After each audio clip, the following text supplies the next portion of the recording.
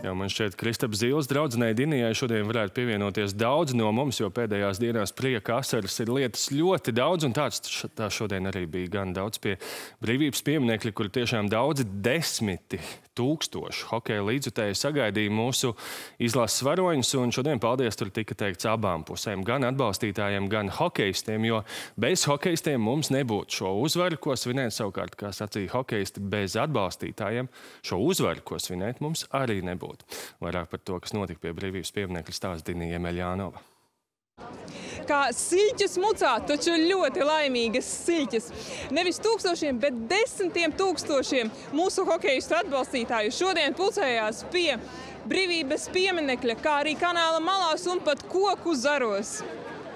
Starp koku zariem šodien arī bija jāraugās hokeistiem ierodoties sarkanbalts sarkanā Air Baltica lidmašīnā.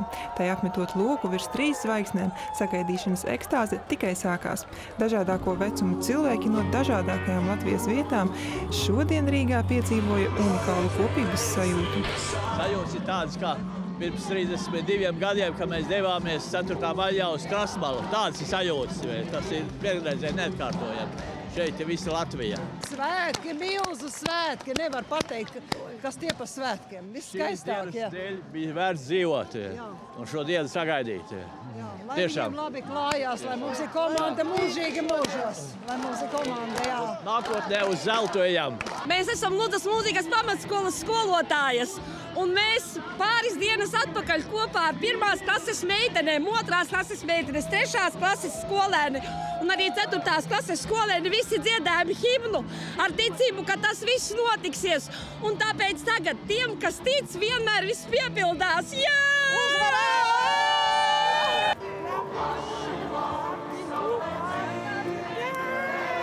Un vakardienas vēsturiskās uzvaras radītās emocijas apspriestas arī šodien.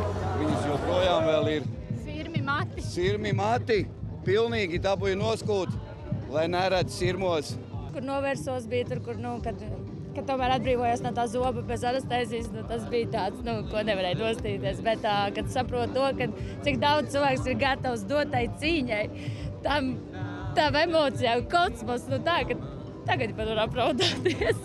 Mēs bijām restorānā, mēs bijām fanu zonā, mēs bijām mā, mēs fa mājās. Kad tev pašam bija tāds vislielākais wow? Tad, kad mēs uzgājām uh, Ameriku. Wow! Kas tas tāds? Es uzzināju. Nevienu uz plakātiem, bet arī karogiem un šallēm šodien parakstījās galvenie šīs dienas varoņi. Pienākot dienas kulminācijai, viņi ar ģimenes locekļiem pulcējās brīvības pieminekļa pakājai. Uzrunas sanākušajiem īsas, bet pateicības emocijām piesātinātas. Es vēlos pateikties eh, visiem mūsu faniem, ka jūs spējāt mūs atbalstīt šajā teiksim, tā, ļoti nozīmīgajā brīdī, spējāt mums dot šo enerģiju, eh, pacēlāt mūs uz augšu un mēs spējām eh, šo momentu realizēt. Pateicoties tikai jums. Lielas paldies par Latviju!